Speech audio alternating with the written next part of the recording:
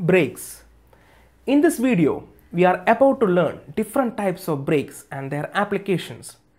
Brake is a device for slowing down or stopping the motion of a machine element by providing an artificial friction resistance. The brake is forced against the moving member so that the friction occurs between the contacting surfaces. The kinetic energy of the moving member is absorbed by the brake and then converted into heat energy. This heat energy is usually dissipated into the surrounding medium such as air. This prevents the overheating of braking element. According to the form of energy used for actuating the braking element, the braking system are classified into three. Mechanical brakes, hydraulic brakes and electrical brakes. In this video, we learn about the mechanical and hydraulic brakes only. Mechanical brakes. They are of four types. Shoe or block brake, band brake, band and block brake and internally expanding shoe brake. Shoe or block brake. It consists of block or shoe attached to a pivoted lever. The block is pressed against a rotating machine element such as a drum by the action of the lever. In a single block brake, only one block is used for braking. These types of brakes are used in some trains and tram cars. In a double block brake, two opposing blocks are used. This increases the braking torque. This type of brake is used in electric trains and in older generation trains. The shoe or block is made of material softer than the drum. This is because the block is easier to replace than the drum. Band brake. A band brake consists of a band connected on a pivoted lever.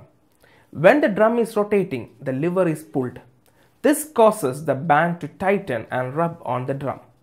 The frictional force between the band and rim of drum makes the drum stops its rotation. The band and drum heats up during this. The heat generated is dissipated into the air. The band used here is either made of leather or made of steel having a friction lining. The band brakes are less commonly used. It is found in the braking system of certain bicycles. Band and block brake. Working of band and block brake is similar to a band brake. The difference is that instead of band directly contacting the rotating drum, multiple blocks attached to the band contacts the drum. These blocks are made of wood or some other frictional material. These brakes were widely used in trains. Internally expanding shoe brake. In an internally expanding shoe brake, there are two C-shaped shoes lined with a friction material placed inside the rotating drum. A clearance that is a small space is provided between the internal surface of drum and the friction lining of shoe. One end of the both brake shoe are pivoted on a stationary backing plate. The other end of the both shoe are connected by a spring. A cam operated by a lever is placed between these ends of shoes. When braking is required, a force is applied on the lever by the action of the braking pedal. When lever moves, the cam turns and pushes the shoes against the internal face of the rotating drum. The frictional force between the friction material and the drum causes the rotating drum to slow down and stop. It is used in automobiles where low braking force is required, for example in motorbikes. Hydraulic brakes. Hydraulic brake is a category of brakes where a brake fluid is used for operating the braking element such as a brake shoe. It works based on the Pascal's law. There are two common types of hydraulic brakes, internal expanding shoe brake and disc brake. The hydraulic disc brake. The hydraulic disc brake is shown here. It consists of a master cylinder, one or more wheel cylinders and a hydraulic line connecting them. They contain a brake fluid. When braking force is applied using the brake pedal, the fluid in the master cylinder is pressurized.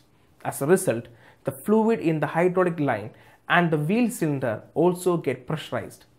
This high pressure causes the piston in wheel cylinder to push the brake shoe against the rotating part that is a disc. The disc stops due to the friction force. Hydraulic internal expanding shoe brake. The operation of a hydraulic internal expanding shoe brake is similar to that of hydraulic disc brake. The brake fluid in wheel cylinder is pressurized due to the action of brake pedal on the master cylinder. The piston in the wheel cylinder push the brake shoes against the internal face of the rotating drum.